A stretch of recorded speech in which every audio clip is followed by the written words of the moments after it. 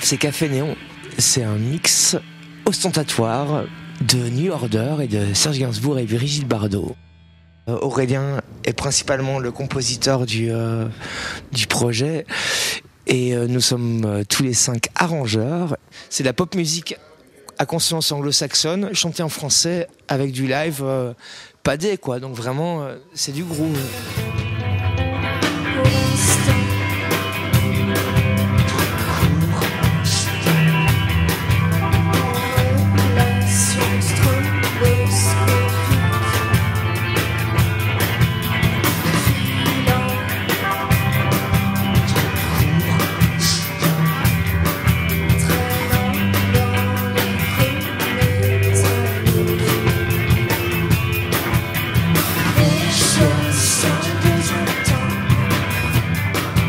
La base du projet, la question ne s'est même pas posée de savoir si on allait chanter en anglais ou en français.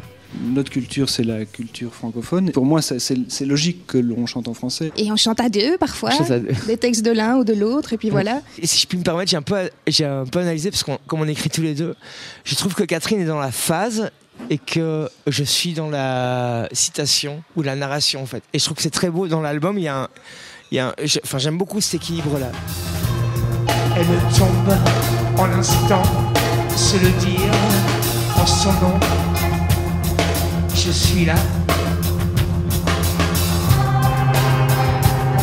D'entendre ma propre voix.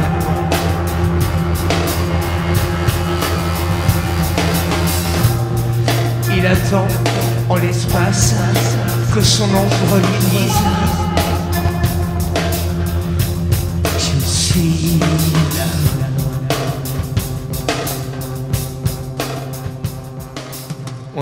Peut-être un peu fait tout à l'envers.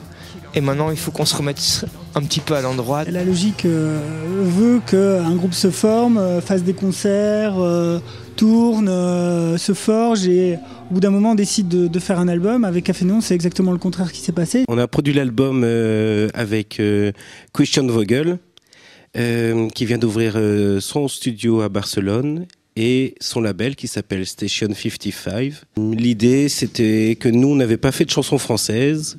Lui n'avait jamais fait de pop. Alors on s'est proposé de se rencontrer en faisant un truc qu'on savait faire ni les uns ni les autres, qui est un album euh, de chansons françaises. Christian, c'est un musicologue. Je pense qu'on ne se plante pas en disant que c'est vraiment un érudit de la, de la matière sonore, de la qualité de notre album pour un album de chansons françaises, c'est que tu as un enrobage euh, sonore qui est vraiment un enrobage de laborantin électronique. Donc il y a par exemple des morceaux où on a euh, enregistré des guitares qu'on a mises à l'envers, qu'on a ensuite algorithmiquement retravaillé sur ordinateur avec des idées, des références.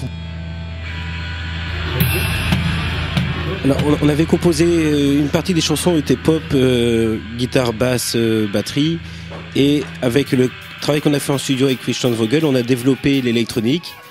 Et après, pour rendre euh, notre bazar euh, sur scène, euh, il y avait un trou. Et Grégory, qui travaille beaucoup la guitare avec effet, nous a permis de faire un lien. Et je pense que c'est intéressant dans les groupes de rock d'avoir deux guitaristes comme ça qui sont. Euh, t'en as, as, un qui juste tient la rythmique et tient la et tiens le côté euh, sac punk et t'en as t'as l'autre qui, qui, crée leur ornementation en fait. C'est assez régi, euh, euh, régi, en fait ce qu'on fait. C'est c'est un bordel organisé quoi. Ça tourne, ouais.